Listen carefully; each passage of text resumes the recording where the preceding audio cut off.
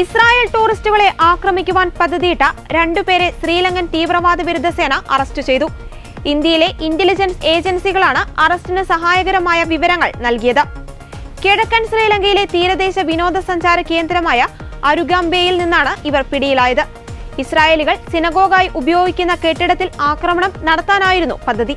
October ഏഴിനാണ് Indian intelligence ഏജൻസികൾ ഇവരെക്കുറിച്ചുള്ള വിവരങ്ങൾ നൽകിയതെന്ന് ശ്രീലങ്കൻ പോലീസ് അറിയിച്ചു. ഭീകരരുടെ പേര് അടക്കമുള്ള വിവരങ്ങൾ ഇന്ത്യ നൽകി. അറസ്റ്റിലായ ഒരു ശ്രീലങ്കക്കാരൻ ഇറാഖ് കേന്ദ്രമാക്കിയാണ് പ്രവർത്തിച്ചിരിക്കുന്നത്. അടുത്തിടെയാണ് ഇയാൾ സ്വദേശത്ത് മടങ്ങിയെത്തിയത്. ഇതിനിടെ ഇസ്രായേൽ സേന നടത്തിയ ആക്രമണത്തിൽ ലബനീസ് സേനയിലെ മൂന്ന് പേർ കൊല്ലപ്പെട്ടു. തെക്കൻ ലബനനിലെ ഏദർ ഗ്രാമത്തിൽ പരിക്കേറ്റവരെ ഒഴിപ്പിച്ചു മാറ്റുന്നതിനിടെയാണ് സൈനികർ ആക്രമണത്തിന് ഇരയായത്.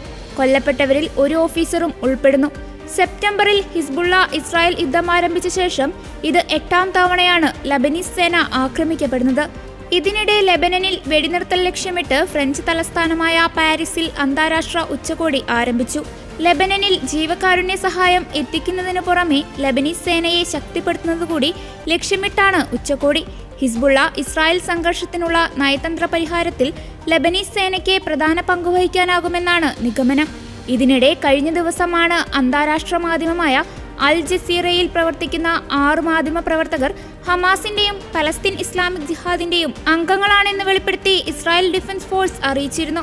ഗാസയിലെ സൈനിക ഓപ്പറേഷനിടെ ലഭിച്ച രഹസ്യവിവരമനുസരിച്ച് Anas al Sharif Ala Salama Hossam Shabat Ashraf Saraj Ismail Abu തലാർ അരിക്കി എന്നീ മാധ്യമപ്രവർത്തകരെല്ലാം ഹമാസ് അല്ലെങ്കിൽ പി ഐ ജെയുടെ സൈനിക വിഭാഗങ്ങളുമായി ബന്ധമുള്ളവരാണെന്ന് സൈന്യം കണ്ടെത്തി.